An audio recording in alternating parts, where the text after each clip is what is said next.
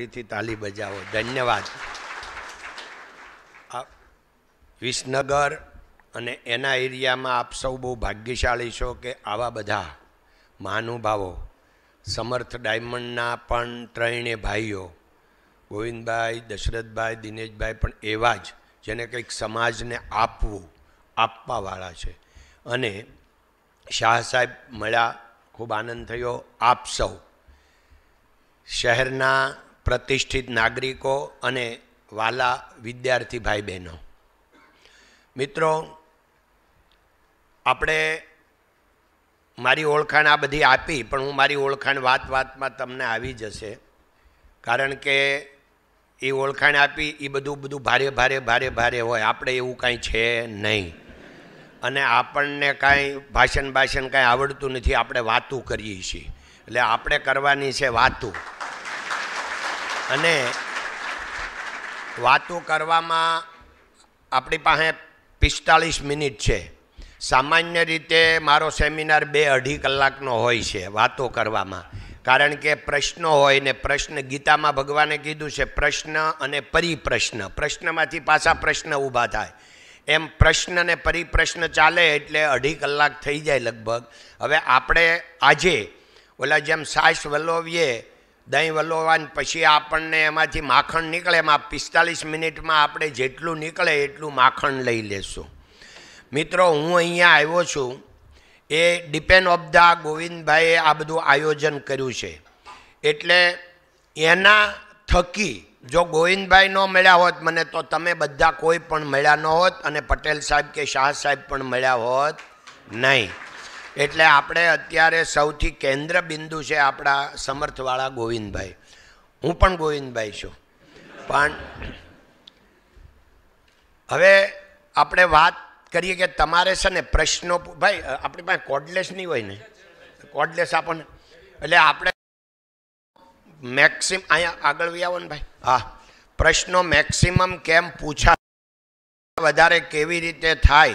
એટલે મારે ખાસ વિદ્યાર્થી ભાઈ બહેનોને પ્રાર્થના છે કે આ એક ઉંમર એવી છે કે એમાં બહુ બધા પ્રશ્નો હોય, બહુ બધા પ્રશ્નો હોય, કારણ કે જીવન સેટલ કરવાનું હોય, જીવનમાં શું થવાનું, બહુ બધું કન્ફ્યુઝન હોય, આ ભણીએ છીએ સાચું છે, ખોટું છે, ઘણા બધા પ્રશ્નો હોય. તો હવે તમારા પ્રશ્નો હોય તો અમારી પાસે અનુભવનું ભાતું છે, બીજું કાંઈ નથી. Because I am study only seven Gujarati. I can't speak, uh, learn English in my school because that time ABCD also starting from eight from high school. So I am not going to high school. That why I am not uh, English not learn in my school. But I can speaking English very well, but without grammar.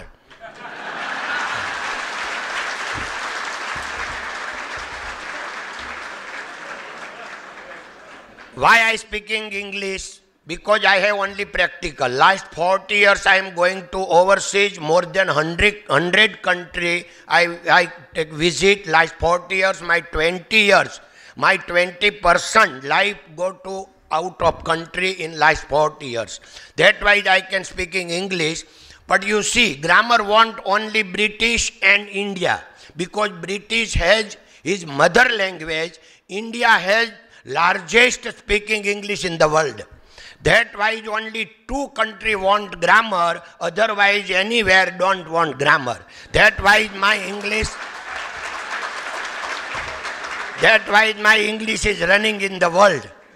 આમાં હું ત્યાં ખબર હું હું ફ્રાન્સમાં ને જર્મનીમાં બાયર સામે બેઠો ને પછી હું આવી રીતે ગળકા ખાતા ઇંગ્લિશ બોલું ને તો ઓલો બાયર હું સમજે ખબર આ ભાઈને તો બરાબર ઇંગ્લિશ આવડે મને નથી આવડતું એટલે ચાલી જાય. એટલે હવે તમને ખબર પડી ગઈ કે આપણે કાંઈ હળવાશથી અને ભણવામાંય ટેન્શન નહીં કરવાનું, વાતુમાંય ટેન્શન નહીં, કાંઈ ટેન્શન કરવાનું નથી. અને આપણે બધાએ નક્કી કર્યું હોય કે મારે હું બનવું. અને ખરેખર જે લોકોએ નક્કી કર્યું હોય, કોલેજ કાળ પૂરો થાય કે મારે આ બનવું છે એમાં ખાલી દસ ટકા બની શકે છે, નેવ ટકા બની એકતા નથી. ભગવાન જેવો જેને બનાવે જેહના ભાગ્યમાં જે સમયે જે લખ્યું તે ને તે સમયે તે જ પહોંચે ગ્રંથ ગરબડ કરી, વાત ન કરી ખરી જેહને જે ગમે તેને પૂજે. આ નરસિંહ મહેતાએ ચારસો વર્ષ પહેલાં ગાયું છે. એટલે આપણા ભાગ્યમાં શું છે એ પડદાની પાછળ કોઈને ખબર નથી. મિત્રો, તમને જાણીને આનંદ થશે. હું શોર્ટમાં મારી ઓળખાણ મેં તમને આપી એમ. અમારું દુધાળા ગામ લાઠી લાઠી એટલે કલાપી નગર અમરેલી જિલ્લામાં. મારું ગામ ત્યાંથી છ કિલોમીટર દૂર, દુધાળા. સાતસો માણસની વસ્તી. અને એકથી ચાર અમારા ગામમાં હાલે, પાંચ, છ હાથ લાઠી, છ કિલોમીટર ચાલીને ભણવા જતો.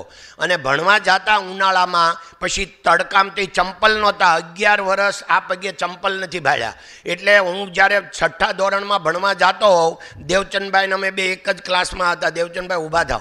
આ મારા મિત્ર છે અને એક જ ક્લાસમાં અમે ભણતા. અત્યારે હીરામાં હારે જ છીએ. તો આ પછી પગે ચંપલ ન હોય ને ફોર્ટી થ્રી ડિગ્રી હાલીને જવાનું હોય, એટલે પગે આવળ બાંધતા. હવે આવળ બાંધતી પણ તે ઓલી દોરી તો હોય નહીં એટલે આવળની ઓલી કૂણી આવળ હોય ને, એને જ પાછા એના ફૂમકાથી એને બાંધવાની અને દોડીને ઝાડ નીચે વયું જવાનું. આ ગોવિંદ કાકાની ઓળખાણ. હું ગોવિંદ કાકા એટલે કહું છું, આખું સુરત મને ગોવિંદ કાકાના નામથી ઓળખે છે. કારણ કે મારું, મારા ભત્રીજા બધા કામે લાગી ગયા, એટલે મારા ભત્રીજા મારા કરતાં મોટા થઈ ગયા. એટલે ભત્રીજા કાકા કે, એટલે આખું સુરત કાકા કહેવા મળ્યું એટલે મારું નામ કાકા થઈ ગયું. મોરારી બાપુ એ કથામાં એમ જ કે ગોવિંદ કાકા, આમ હમણાં જ જે મુંબઈ કથામાં ગયો, તો એ ગાતા હતા મોરારી બાપુ. કે મારું વરંદ્રાવન છે, રૂડું ગોકુળ નહીં આવું, એટલે એલા વૈકુંઠ નહીં આવું, એ કે આપણે કાંઈ સ્વર્ગમાં જવું નથી ને આપણે વૈકુંઠમાં જવું નથી, આપણે તો તલ ગાજરડા સારું છે. પછી ગાયા કે મારું તલ ગાજરડા રૂડું રે, મારે તો વૈકુંઠ નથી આવવું. પછી મારી સામે જઈને બોલ્યા, જો અમારે ગોવિંદ કાકા સુરતથી આવ્યા છે, કેમ ગોવિંદ કાકા? મારું દુધાળા તે રૂડું રે, મારે વૈકુંઠ નથી જવું. એટલે એ મને કાકા જ કહે. એટલે કાકા નામ પડી ગયું છે, પણ આમ તો જો કાકા મટીને ભત્રીજા થવાય નહીં, આ કાકા થયા ને એ સદભાગ્ય કહેવાય. નકર બધાને શું થાય ખબર, એ, મને એનો કાકા કહે છે, હું કાંઈ એટલો થઈ ગયો છું મોટો, પણ કાકામાં મજા છે. એટલે કાકા થવાય. મિત્રો, તમને આપણી પાસે શું છે, અનુભવનું એટલું મોટું ભાતું છે કે મેં છ આનામાં અડધું ભાણું આવે એ લાઠીમાં ખાધું છે. અને હવા ત્રણસો ડોલરનું ડિનર ઓગણીસો ને સત્તાણુંમાં મોસ્કોમાં લીધું છે. એટલે છ આનાથી માંડીને વીસ હજાર સુધીના આપણે લોજમાં ભાણા ખાધા છે. એટલે કહેવાનું એ છે કે અનુભવ બધો આ બધો જ છે. ગામડાનો છે, કારણ કે માથે ઓલા સાણના ટોપલા વર્ષોના વર્ષો માથે ઉચક્યા છે. એટલે આમાં ગામડાની એ બધી ખબર છે ને ઉપર જાપાન હું કે અમેરિકા હું કે દુનિયા હું, એ બધું નોલેજ અનુભવ છે. ખબર કાંઈ પડતી નથી. એટલે મને કાંઈ યાદ રહેતું નથી. મને બહુ યાદ શક્તિ નથી. હું જ્ઞાની નથી. મને કાંઈ એટલું કશું નથી આવડતું. પણ આ બધું પ્રારબ્ધ વંશ, કારણ કે હું જ્યારે નાનો હતો અને મારા ફાધર એક ડાયરી રાખતા ભણેલા નહોતા પણ કાંક હોય ને કોકની પાસે લખાવી નાખે. તો એ ડાયરીની પાછળ લખ્યું હતું મનુષ્ય યત્ન ઈશ્વર કૃપા. બસ. આની બહારનું કાંઈ આ સંસારમાં છે જ નહીં. એક સેન્ટેન્સ જો મનમાં રહી જાય, આપણે ખાલી યત્ન કરવાનો છે. આપણે કર્મ કરી શકીએ. બાકી ઈશ્વરની કૃપા વગર કાંઈ થઈ શકતું નથી. એટલે મનુષ્ય કહે, મેં કરું કરતલ દૂજા કોઈ આ દરિયા અધવચ્ચે રહે, હરી કરે સો હોય. એટલે ઈશ્વરની ઈચ્છાથી જ બધી સૃષ્ટિ ચાલે છે. આપણે બધાય ઘણા વાર સારું થાય ને તો કે મેં કર્યું. અને ખરાબ થાય ને તો કે ઓલા ભાઈએ કર્યું. આ આપણી મેન્ટાલિટી છે. એટલે આ સ્થિતિમાં હવે જ્યારે આ કોલેજના ગોવિંદભાઈને એકવાર અમે અગાઉ મળેલા મારી ફેક્ટરી સુરત જોવા આવેલા. તો એને એવી ઈચ્છા થઈ કે આ ગોવિંદભાઈ, આ ગોવિંદ કાકા આવે છે, તો આપણને વિદ્યાર્થીઓને પણ થોડો કંઈક થાય લાભ. તો વિદ્યાર્થીઓને તો લાભ મળે, પણ ગોવિંદ કાકાને લાભ મળે. કારણ કે હું જ્યાં જાઉં, ત્યાં હું આપવા નથી જતો એકલો. લેવા જાઉં છું. આ જિંદગી લર્નિંગ છે. દરરોજ શીખવાનું છે. નવું નવું નવું નવું. જિંદગીમાં ડેઈલી નવું જ શીખવાનું છે મિત્રો. હું તમને થોડીક એ પણ ઓળખાણ આપી દઉં કે સુરતમાં હું લગભગ દસથી બાર કોલેજમાં દર વર્ષે કોલેજના વિદ્યાર્થી સાથે બે અઢી કલાકની ગોષ્ઠી કરવા જાઉં છું. આઈઆઈએમમાં અમદાવાદ બે વાર લેક્ચર આપવા ગયો હતો. અને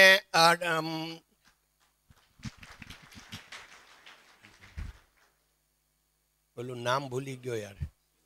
ઈસરો, ઈસરોમાં તે એકસો પંદર સાયન્ટિસ્ટોની સાથે અમારો દોઢેક કલાકનો વાર્તાલાપ થયો હતો. તો આ જે આઈઆઈએમમાં ગયો હતો, આ બધા હું દર વર્ષે જાઉં કોલેજિયન વિદ્યાર્થી મિત્રોને મળવા, વિદ્યાર્થીની બહેનોને. પણ જે આઈઆઈએમના વિદ્યાર્થીઓની પાસે જે પ્રશ્ન હતા એ દાદ માગી લે એવા તો હતા જેની પાસે નોલેજ બહુ હોય. એટલે એ લોકો પહેલાં આપણને વાંચી લે ઓનલાઈન કે ભાઈ આ ગોવિંદભાઈ ધોળકિયા આવે તો આ ગોવિંદ ધોળકિયા છે કોણ? એટલે જેવું સ્ટાર્ટિંગ થયું, તો એક વિદ્યાર્થી મને તરત પ્રશ્ન પૂછ્યો કે, કાકા, અમે એવું ઓનલાઈન તમે વાંચ્યું કે તમને આખી ગીતાજી મોઢે છે એ સાચું કે ખોટું? મેં કીધું એ સાચું તો મને કે કે આજ સુધીમાં એવું મેં ક્યાંય નથી સાંભળ્યું કે આખી ગીતા મોઢે હોય એ ઉદ્યોગપતિ હોય. અને ઉદ્યોગપતિ અને ઉદ્યોગપતિ હોય એને આખી ગીતા મોઢે હોય, આવું ક્યાંય સાંભળ્યું? તો આ બેનું મિશ્રણ કેમ થયું? એટલે અત્યારે આપણી પાસે ટાઈમ નથી, એટલે સ્ટોરી નહીં થાય, પણ હું એટલે માનું છું લકને કે મારી અજ્ઞાન અવસ્થામાં, હું દસ વર્ષનો હતો અને મારા હાથમાં ગીતાજી આવ્યા, કોઈએ કીધું નહોતું. અને મને એટલા બધા ગમી ગયા. એ ટાઈમે જાણે ગીતાજી હાથમાં આવ્યાથી આમ એકદમ શરીર હળવું થઈ ગયું. એવું કંઈક ભાસ થયો મને. અને હું ગીતાજી વાંચવા મળ્યો અઢાર અધ્યાય વંચાઈ ગયા અને પછી મને એમ થયું મારે આને મોઢે કરવી છે. અજ્ઞાન અવસ્થામાં ખેતી કરતા, રોજ વાડીએ જતા, છ કિલોમીટર હાલીને લાઠી ભણવા જતા ત્યારની વાત છે. અને પછી ગીતાજી મોઢે અડધી થઈ ગઈ, તેર વર્ષનો હતો અને ચૌદમું વર્ષ હાલતું તો અમે સુરત ગયા. હાથમાં ધોરણની પરીક્ષા નથી આપી કહેવાય હાથ ધોરણ ભણેલા. મારા મોટા ભાઈની હારે સુરત ગયા. તો આખા સુરતમાં હીરાના બસો જ કારીગર હતા. એ ટાઈમે અમે ગયા હતા અને છ કરોડનું એક્સપોર્ટ આખા ભારતનું હતું. અત્યારે એક લાખ કરોડનું એક્સપોર્ટ છે ભારતનું. અને એમાં અત્યારે પાંચ લાખથી વધારે કારીગરો ખાલી સુરતમાં છે. આ, એ આખા ડાયમંડ બિઝનેસનો હું સાક્ષી છું.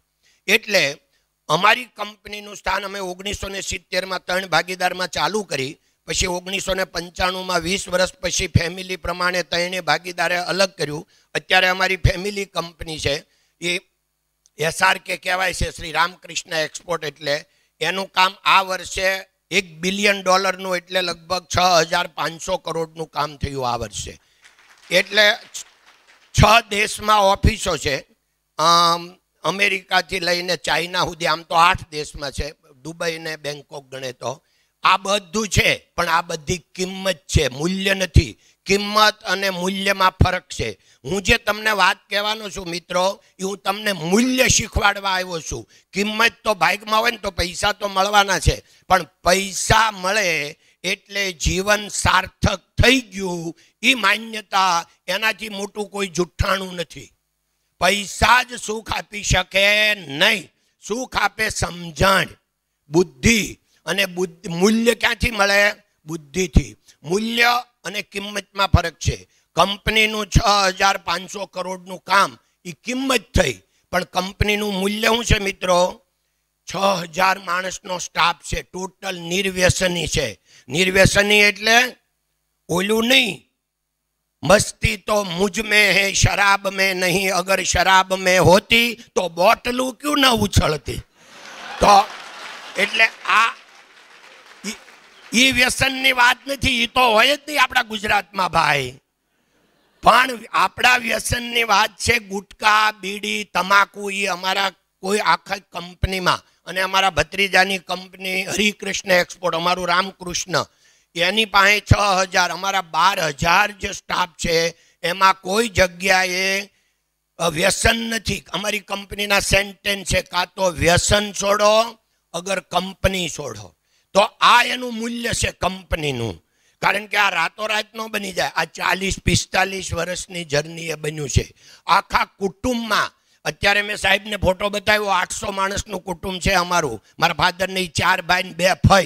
એટલે મારા દાદાનું નામ કાનજી દાદા. કાનજી દાદા ફેમિલીમાં આઠસો ને છેતાલીસ માણસ છે અત્યારે. તો આ આખું કુટુંબ નિર્વ્યસની છે. તો આ બધું બનાવવામાં પચાસ વર્ષનું ઓલું લાગે.